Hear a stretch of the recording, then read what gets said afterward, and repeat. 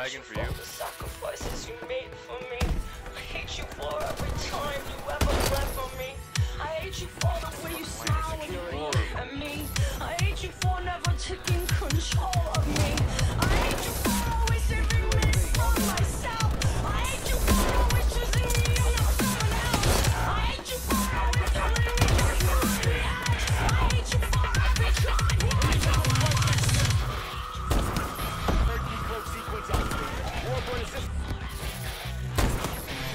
Lord.